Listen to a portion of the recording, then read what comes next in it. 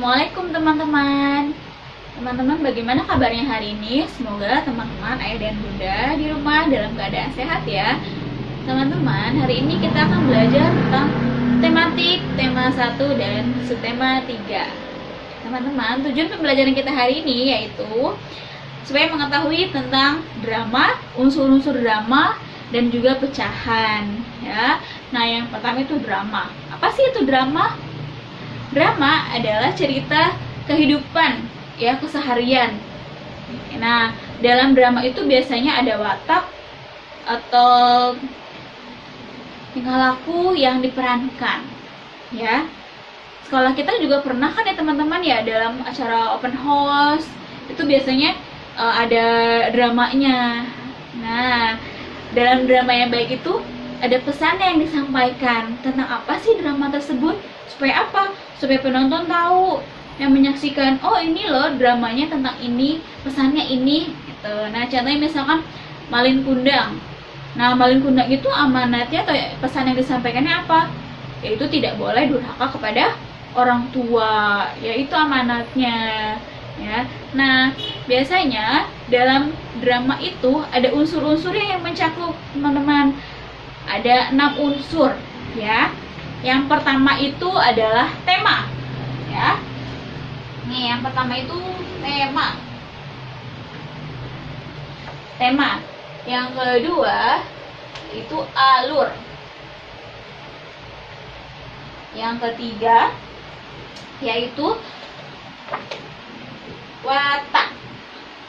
Uh, watak. Yang keempat tokoh. Yang kelima, latar. Yang keenam, itu amanat. Nah, dalam drama itu harus mencakup ada enam unsur ya temanya. Dalam drama itu mau temanya apa sih teman-teman kira-kira? Nah, misalkan temanya itu tentang persahabatan, tentang keluarga ya Biasanya dalam tema itu ada ide pokok atau gagasan utamanya yang akan disampaikan dalam drama tersebut. Ya, akan e, tentang apa drama tersebut. Nah, yang kedua itu alur. Ya, alurnya mau seperti apa drama tersebut? Tadi kan sudah mengetahui temanya. Nah, tinggal alurnya mau seperti apa dalam drama tersebut. Ya, nah untuk watak, ya, watak itu misalkan e, ada dua kan watak protagonis dan antagonis teman-teman ya. Protagonis itu biasanya uh, wataknya itu baik ya. Nah kalau antagonis biasanya tidak baik. Nah itu ya itu untuk wataknya. Nah tokohnya.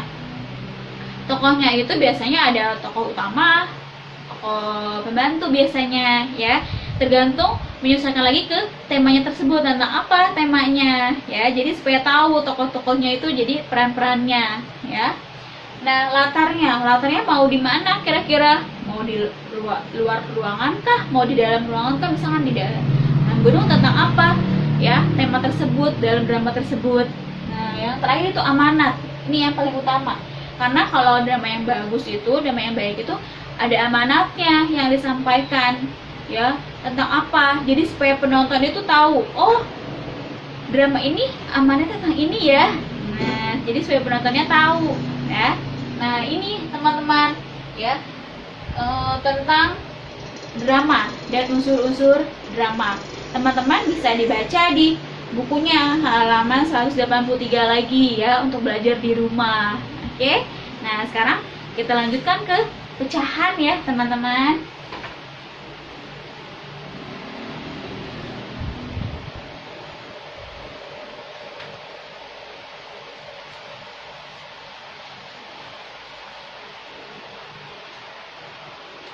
Oke, pecahan tentang desimal ke pecahan biasa, desimal ke pecahan campuran. Ya, ini beri contohkan misalkan 0,5. Nah, teman-teman lihat di sini 0,5 di belakang angka itu kan ada satu angka ya, yaitu angka 5. Berarti kalau satu angka di belakang koma yaitu nilainya 10 ya berarti dia 5 per 10 ya. Misalnya ini kan udah ketahuan nih pecahan biasanya. Bunda uh, bisa nggak sih ini disederhanakan lagi? Bisa. Ya kita bagi berapa? Bagi 5 langsung ya teman-teman supaya nanti hasilnya lebih kecil. Nah dibagi 5 pembilang dan penyebutnya harus sama ya teman-teman. Nah dibagi 5 seperti ini 5 dibagi 5 hasilnya itu 1 Nah, 10 dibagi 5 2. Oke, good. Jadi hasilnya 1 per 2 ini untuk pecahan apa desimal ke pecahan biasa.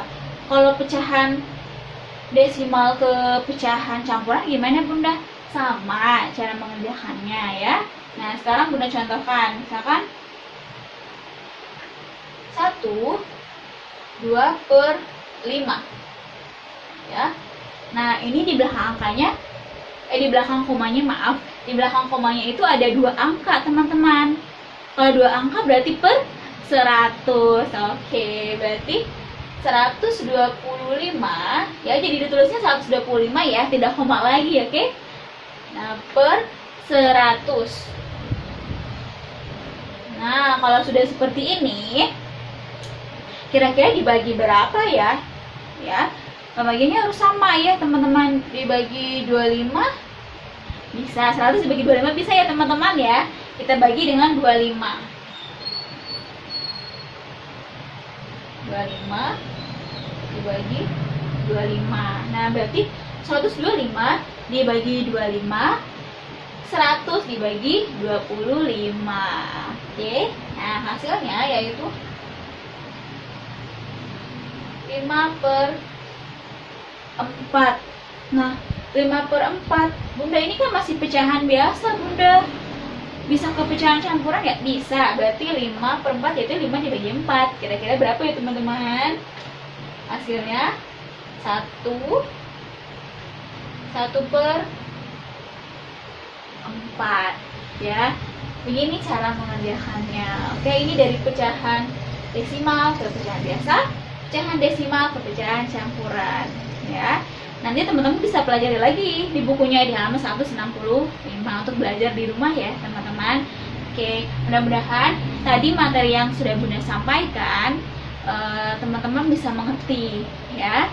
Oke uh, sekian dari bunda untuk pembelajaran hari ini. Wassalamualaikum warahmatullahi wabarakatuh